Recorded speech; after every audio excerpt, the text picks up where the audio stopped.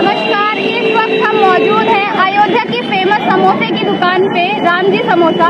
और यहाँ हम जानेंगे अयोध्या में चुनावी माहौल क्या है। ऐसी पूरी संभावनाएँ जताई जा रही हैं कि योगी जी अयोध्या से ही चुनाव लड़ेंगे। तो आइए जानते हैं कि इस पर अयोध्या वासियों का क्या कहना है। हाँ यहाँ से योगी जी चुनाव लड़ेंगे। और जीत उनकी पक्की होगी अपराध कम हुआ है। विकास हुआ है जो काम हो रहा है अगर योगी जी नहीं आएँगे वो काम ठप हो जाएगा।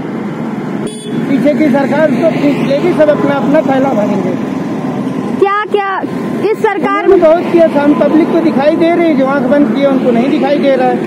सर अयोध्या में चुनावी माहौल क्या है? आ, मैं एक्चुअली मैं ज़्यादा तो नहीं हूँ बट अच्छा ही है मेरे ख्याल से।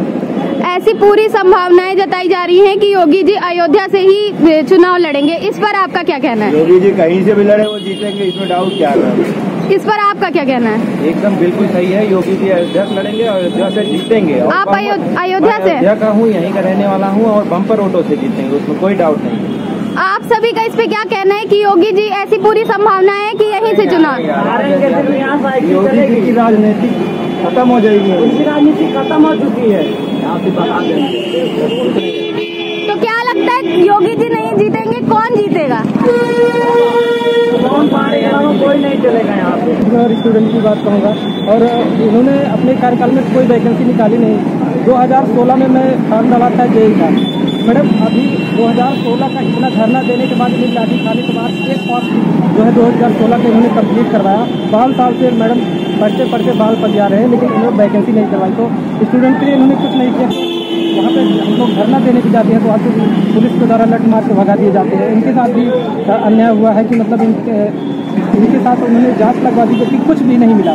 और इनके कार्यकाल में वैकेंसी उनहत्तर हज़ार शिक्षक की भर्ती आई उसमें इन्होंने मतलब आरक्षण में घोटाला कर दिया। तो इसलिए यहाँ से तो मुझे लगता है कि गाँव के घुसने के लिए कोई जगह नहीं और यहाँ से तो उनको जाना ही है। बिल्कुल पूरी तरह से उनको खिलाफ करके चुनाव तो कहीं लड़ेंगे उसको मतलब कहेंगे लेकिन इनके कार्यकाल में जो निष्पक्ष न्याय की जो इन्होंने बात की थी, कहीं ना कहीं उस खड़े नहीं कर रहे हैं। क्योंकि मैं अ, उत्तर प्रदेश में गई रहा हूँ और उसमें माननीय वो अ, अखिलेश यादव मुख्यमंत्री उसमें